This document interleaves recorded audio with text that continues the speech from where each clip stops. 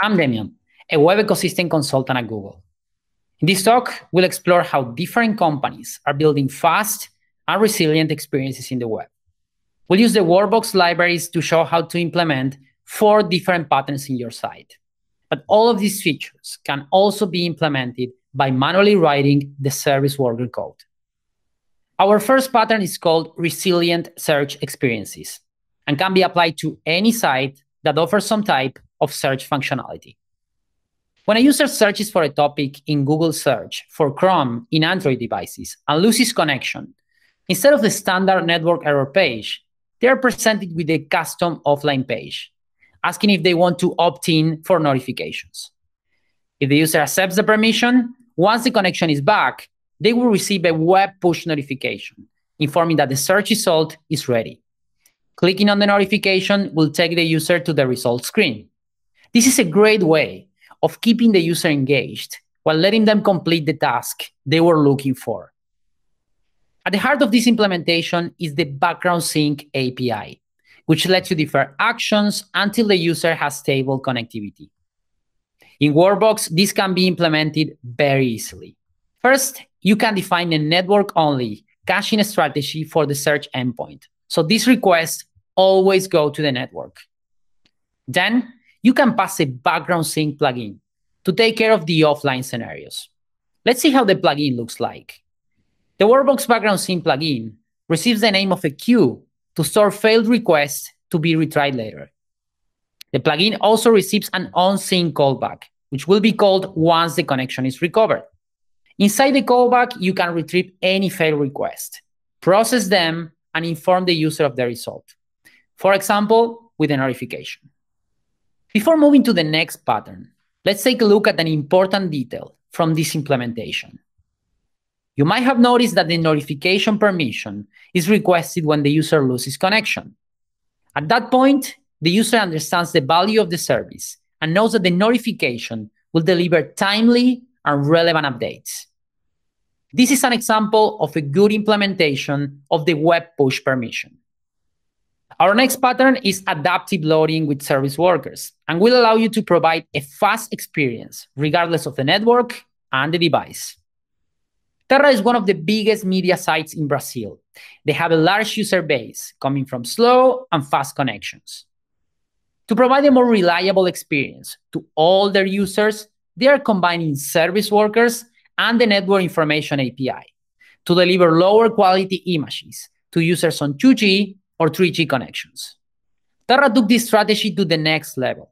When users are navigating on slow connections, they deliver the AMP version of the articles, which are more lightweight and tend to perform better under these conditions. To implement this functionality in Workbox, you can first apply a cache-first strategy to images. Then you can pass an expiration plugin to limit the number of entries in the cache. You can extend this strategy by creating a custom plugin that we will call Adaptive Loading Plugin. Inside the plugin, you can listen for the request will fetch callback that will be called before the request is made, so you can apply a transformation to it. Inside the callback, you can check the connection type. If it's a slow connection, you can create a new URL for a lower image quality. Finally, you can create a new request based on that URL and fetch the most appropriate image file according to these conditions. If you are using Cloudinary, there's a Workbox Cloudinary plugin, making this feature even easier to implement. Check it out.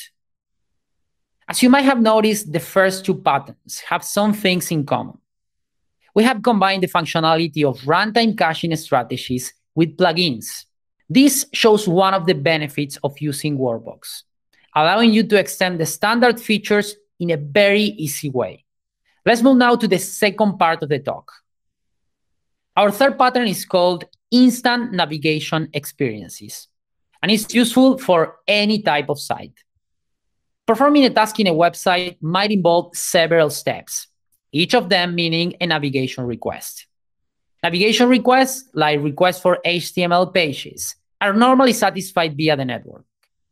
This means using a cache control header of no cache or a max age of zero to ensure that the response is reasonably fresh. But having to go against the network means that each navigation might be slow, or at the least, not reliably fast. To speed up these navigations, you can apply a technique called prefetching. In this example, Mercado Libre, the largest e-commerce site in Latin America, dynamically injects link prefetch tags in listing pages to accelerate parts of the flow. But prefetching is not only useful for e-commerce sites. Italian sports portal Virgilio Sport uses service workers to prefetch the most popular posts that appear in the homepage before the user even clicks on them. As a result, load time for navigation to articles have improved by 78%. And the number of article impressions has increased in 45%. Prefetching is commonly implemented by using a resource hint in your pages, link prefetch. The tag tells the browser to fetch a resource at the lowest priority and keep it in the HTTP cache for five minutes. In the service worker side, you can intercept requests for HTML pages so that you can extend the lifetime of the prefetch resource beyond the five minutes window. For HTML pages, a stale while revalidate strategy is a good option to respond quickly from the cache while simultaneously keeping it up to date. Before moving to the final pattern, there's a slight variation of this technique. Instead of using resource hints in the page, some developers prefer to delegate prefetching completely to the service worker. For that, you need to implement a page to service worker communication technique. The Workbox window package allows you to do that. So if you are interested in following that route, you can check that out. We have reached the end of our talk.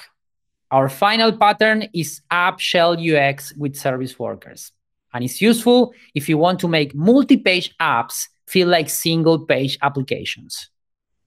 Dev has become one of the favorite platforms for software developers. The architecture of their site is a multi-page app. Their team was interested in the benefits of the app shell model, but didn't want to incur in a major architectural change. So let's see what they did. First, they created partials for the header and the footer of the home page. These assets are added to the cache at the service worker install event, what's commonly referred to as pre-caching. The content of the page is the only part that's actually being fetched from the network when navigating. But the key ingredient of this solution is the usage of streaming. Thanks to that, bytes can start being painted in the screen before the full response is ready. Workbox, you can start by creating a regular expression to match requests for pages. Then you can pass an array of stream responses to compose. For the header and the footer, you can use a cache first strategy. For the content, you can use a network first. All the streaming sources will be composed by Workbox and sent to the client. Thanks to streams, the header can start being painted as soon as it's picked up from the cache without having to wait for the full response. We have seen four advanced patterns for speed and resilience. As a complement of this talk, we'll be uploading guides and code labs so you can see them in more detail. Please check webdev slash progressive web apps and webdev slash reliable. Thanks for watching.